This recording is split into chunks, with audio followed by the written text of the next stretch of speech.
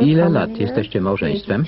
32. years? How did you make it? What's the Jak wam się to udało? W czym tkwi tajemnica? Spędzamy ze sobą dużo czasu. Jasne, że miewaliśmy lepsze i gorsze momenty. Zdarza się, że się ze sobą nie zgadzamy. Jednak przez większość czasu jest wspaniale. Kłócicie się czasami? Niezbyt często, prawda?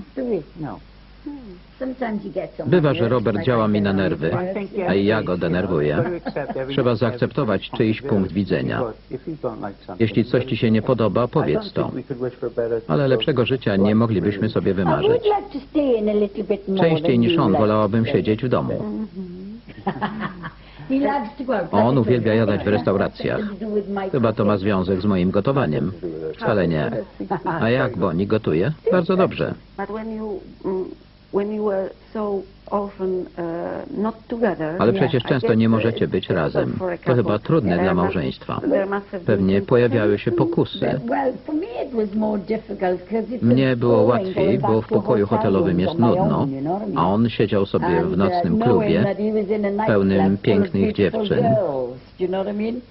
Oczywiście, że zdarzały się pokusy. A jak stawiałaś How im did you czoło? Kiedy pojawiają się problemy, a tobie uda się je pokonać, stajesz się silniejsza. And to those championships, Miałaś okazję pojechać na mistrzostwa, żeby zobaczyć, jak Robert walczy?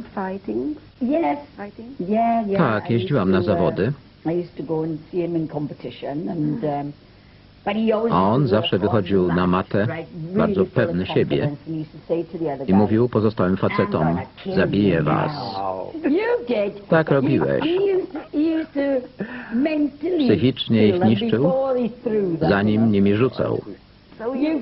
Naprawdę tak chodziłeś. Zawstydziłaś mnie. Był naprawdę dobry. Za szybko skończyłem karierę. Miałem 22 lata. Postanowiłem poświęcić się pracy. Sprzedaliśmy nocne kluby, żeby Robert mógł mi towarzyszyć. Właśnie wtedy zaczął kupować nieruchomości. Dobrze inwestował pieniądze. Po to, by móc zawsze podróżować razem. Inaczej jest przecież bez sensu. Wracać do hotelu samemu. Pojechałam na przykład do Sydney w Australii. Piękne miejsce, bardzo mi się podobało.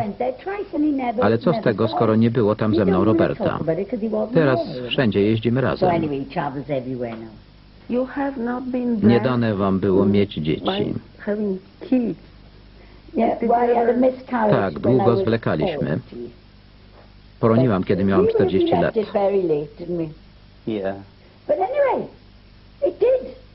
Kiedy zeszłam w ciążę, nie mogliśmy w to uwierzyć. Byliśmy tacy szczęśliwi. Ale to trwało tylko 10 tygodni. Nie załamałam się, choć to było straszne. Potem próbowaliśmy jeszcze, ale nie udało się. Patrzę na to tak, wiem, że mogłam mieć dzieci. Robert także, ale jednak to nie było nam pisane. Masz za to 16 16 nieces? siostrzenic i bratanków. Tak, obojga płci. Jak ich traktujesz? Bardzo dobrze. Rozpieszczę ich.